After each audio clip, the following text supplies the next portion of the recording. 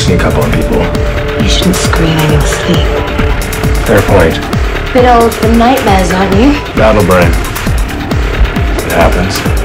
How long were you enlisted? Nine years. How long you been a professional killer? Nice. I'm not. Oh, Come on, just because it's your job doesn't make them any less dead. All this time we spend finding them. What if we don't like what they have to say? What do you want her to say? That it's not my fault.